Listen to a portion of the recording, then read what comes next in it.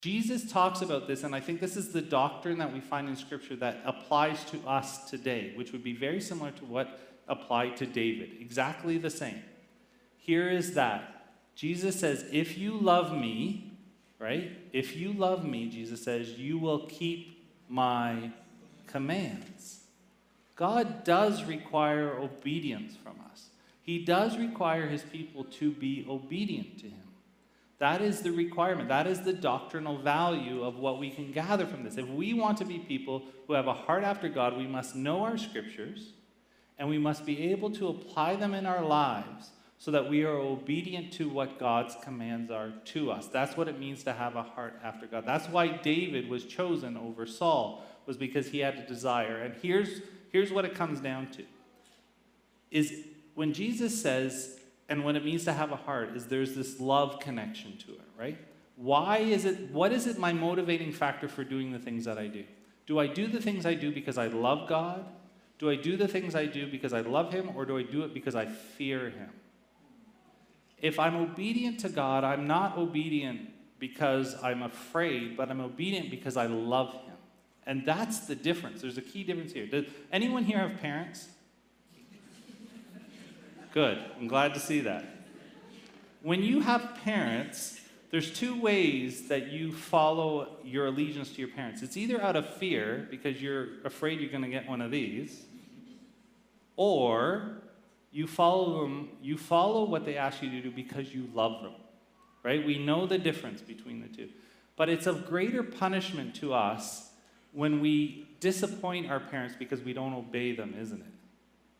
It's like when I fall short of obeying my parents, I'm, I'm not fearful, but I'm fearful of disappointing them, right? Because I love them. And so that should be the desire for us when we follow after God. He is, he, is a, he is a same heart, a kindred heart to God, because the things of God are important to him. So in your life, are the things of God important to you? Or do they kind of take second nature? When God says don't do something or do something, do we do it? Right? God has many, many commands in Scripture which we as Christians are called to follow.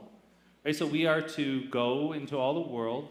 We are to baptize in the name of the Father, the Son, and the Holy Spirit.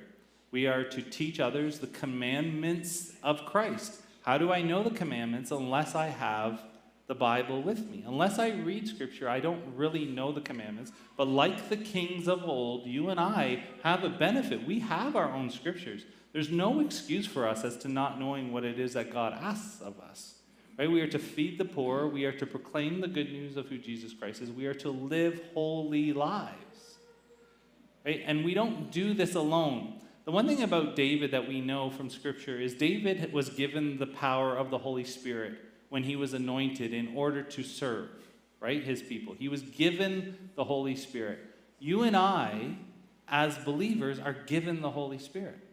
You and I have the Holy Spirit in us. The Holy Spirit allows us to be obedient, not because we fear God, even though fear is not always a bad thing, but it's, it's out of love. It's our desire to please God, which is why we do what we do. So God has not left you alone for you to follow Him without any direction or guidance, because it says in Scripture that He has taken away our heart of stone and He has given us a heart of flesh. He has written upon our hearts His law and the things that we are to do.